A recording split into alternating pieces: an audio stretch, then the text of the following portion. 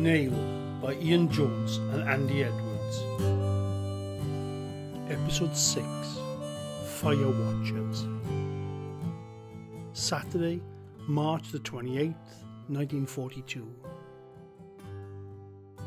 Nail comes clean to Maggie about his role with the LDV Auxiliary Patrol. It felt like the right time for honesty after his conversation with Becca yesterday. He and Dai are out on night patrol again and have a chance meeting with a good friend. There are rumours of sad news and a shock for Dai. I told Maggie last night about the auxiliaries, you know. Yeah. Couldn't lie to her any more. We were couched up in bed with a hot water bottle. King and country is one thing, I thought to myself, but lying to the person you love is another. The truth must be better than lies, no matter what. Sorry I didn't tell you before, I said. He made me sign the official secret act, man. All sounds very serious, she said. I thought there was something going on. Mm, thanks for telling me, darling. At least I understand now. Then she kissed me on the forehead. Nos da, my lovely, she said. Night, night. I felt much better this evening when I was heading out. You off rabbiting with Dai again? She smiled as I left and winked at me. Ah, yes, right, I said. Be careful, then, Bach. See you in the morning, is it? Ah, in the morning, I say. Ta-ta. I had to own up to Dai about telling Maggie. I couldn't lie to her any more, Dai, I said. He looked over his shoulder, then back to me. Listen, he whispered. I told Philly ages ago. I can't pull a wool over her eyes. She's too bloody sharp for me. As if Margaret or, or her going to tell anyone anyway. Bloody nonsense. Well, I hope they don't say or you and me are for the high jump, I tell him. Don't even joke about it, Neil.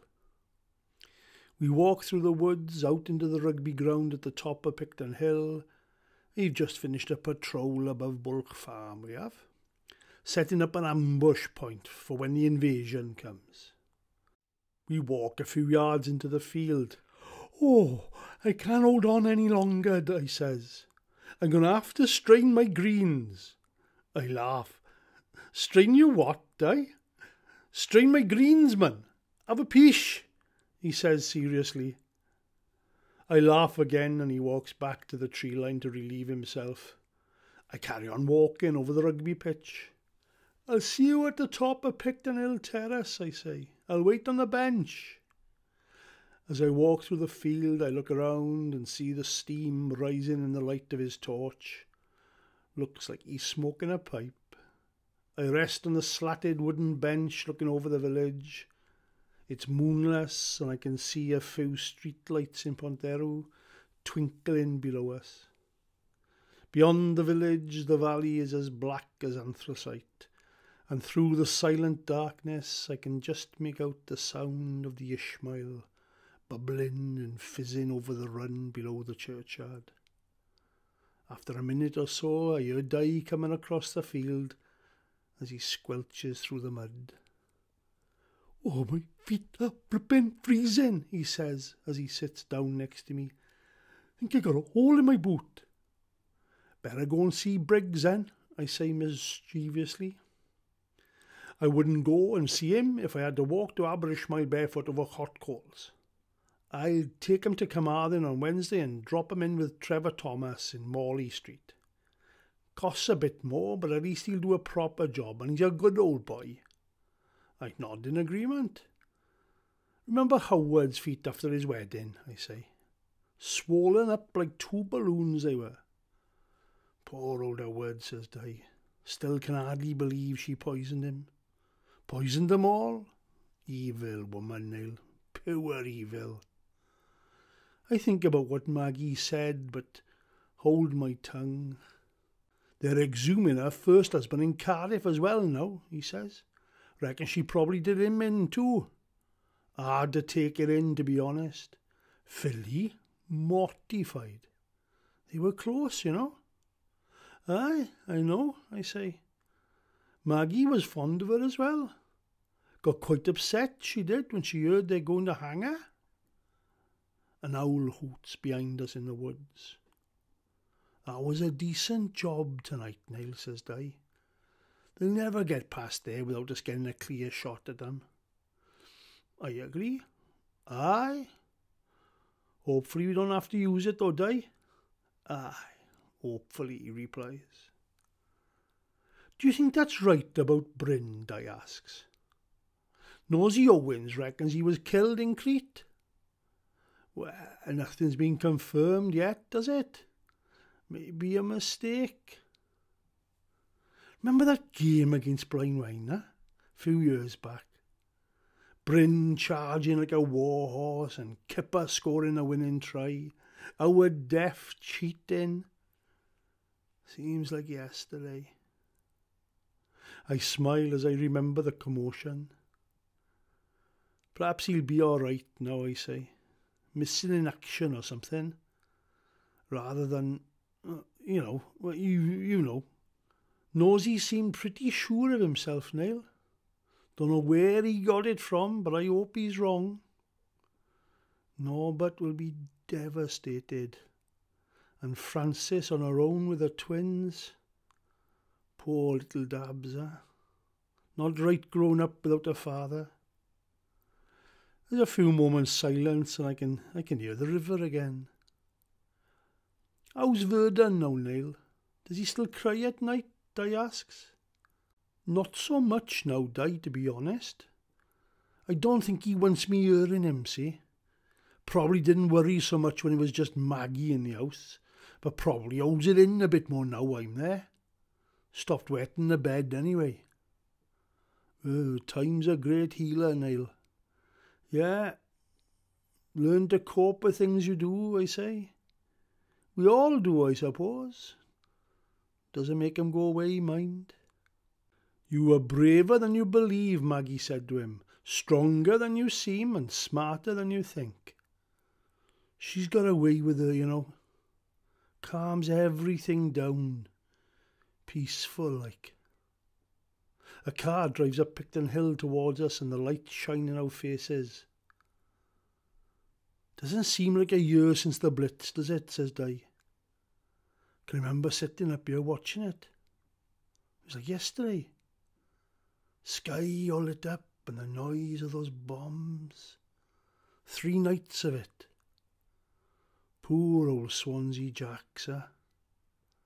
Docks were in smithereens, hundreds dead. Ernie was telling me that his cousin's girl was in school a few days before the Blitz, when the siren went off, I say. She was only five. All the children ran to the Anderson but she decided to walk home on her own. I'm not saying it was far, mind. A couple hundred yards, you know.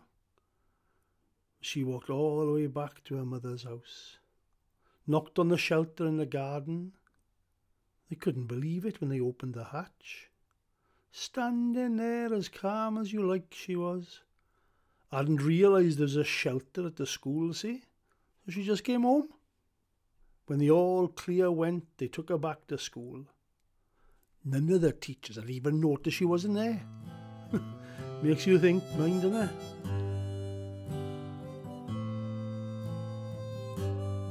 Is that you, boys? comes a voice out of the darkness. Merv, man, says Dai. What the hell you doing creeping around in the dark like a, like a, oh, I don't know, like a night creeper or something? A night creeper Dai? What the hell's that? Oh, I, don't know. Anyway, what you doing, Merv? I could ask you two the same question. I've been up in that last, went, went to see Bryn's father. Nosy Owens, spreading rumours, so I thought I'd take a walk over. Yeah, and? I say. What did he say? It's not good, says Merv solemnly. Missing in action. They've sold him, suspected lost. Oh, Jesus, I say. Poor Francis, eh? Kipper'll be devastated too, says Dai. Where's he to now? North Africa, last I heard, says Merv. Fighting the Aitais, I think. He joins us on the bench. At least Caio's okay, says Merv. He's in Plymouth, apparently. Run ashore for a few days. Totter boys. He pulls a bottle of pusser's from his coat. We all take a slug. What you doing up here then? he asks. You never said. Oh, rabbiting, says Dai. Where are they then? I fancy a rabbit. Don't tell me you haven't got any now, because I don't believe you. Dai hesitates. Oh, oh, only been laying the snares, Merv, I say. Coming back in the morning to get them. Ah, right, he says. Fair enough, I suppose. I look at Dai in the half light. He says nothing. It's easier to lie to Merv than Maggie, I think to myself. We were just talking about the Blitz in Swansea last year, I say. Oh, bloody carnage, says Merv. It was like the sky was on fire on a Saturday night, I tell you. Those observer corps in Pembrey have got a few questions to answer. Left the Luftwaffe to it, says Dai in agreement. Talking about Swansea, how did your trip go yesterday, boy? Did you get to meet your buddy's wife and boy? I did, Dai, I reply. It's hard to be honest, Merv. Uh, upsetting, like. But I'm glad I went. It's done now. Maggie was a big help. Couldn't have done it without her. We all take another slug of Merv's rum. Merv coughs. I heard Arthur Two Donkeys has been arrested. What? Get away, Merv. What's he been arrested for? says Dai, sounding worried. Bit of a strange one, Dai. Eddie the Ship told me last night. Apparently, they've arrested him for wrestling pigs. What? I say disbelievingly. Aye, I know. I couldn't believe it either when Eddie told me. Are you sure, Merv? I says. You can't get arrested for wrestling pigs? Hold on, Merv, I say. Not pig wrestling, man. Pig rustling. Stealing pigs, you bloody idiot. Merv folds his arms. Don't call me idiot, Neil.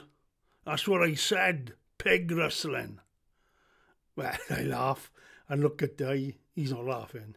His face is as serious as I've ever seen it. I'm off, he says suddenly, and jumps to his feet. I gotta go to the shop. And he disappears into the darkness and down the hill. What's got into him, Neil? Well, you spooked him, Merv, with your talk about Arthur Two Donkeys. He's got half a pig in his cold room and God knows how many boxes of bacon. He's probably going to make him disappear sharpish. Never had Dai down as a contraband pirate, Merv says and laughs to himself. Sixteen faggots on a dead man's chest, a yo ho ho and a bottle of sauce. He laughs even louder, then changes the subject again. Likes to do that, Merv. Every sentence is about something different with him half the time. Saw banana when I was in Nant last, Neil. You never did, I said. Genuinely. I haven't seen one for years. Strike me down if I'm lying, he said sincerely. Only the one, mind. Neighbour brought it in for us to see when we was having a chat. Apparently, most of the kids in the village have been to look at it. Most of them hadn't seen an Anna before. thought they were imaginary, you know, made up, you know, like like cowboys and Indians or something. Cowboys and Indians aren't made up, Merv, I say. He pauses. Well, like, uh, like sea horses then, he says. I say nothing this time. Going to have it for his tea tomorrow, apparently, with milk and sugar. Agreed to wait another day because some of the kids haven't had a look at it yet. Fair play to him. I could do with eating something soft myself, I say. I've been cleaning my teeth with baking powder the last week or two. My gums are bleeding all the time. Think I'll have to stop using it for a bit. Merv is in like a shot. When I was in the Navy, he says, we walk down Picton Hill, while he regales me with tales of caustic soda, natural sponge, and shark's teeth. As we reach the village, there's a rumble of aircraft overhead. One of ours? Merv asks. Dunno, I reply. Hope so. As we reach the square, Dai's van speeds past and disappears into the night.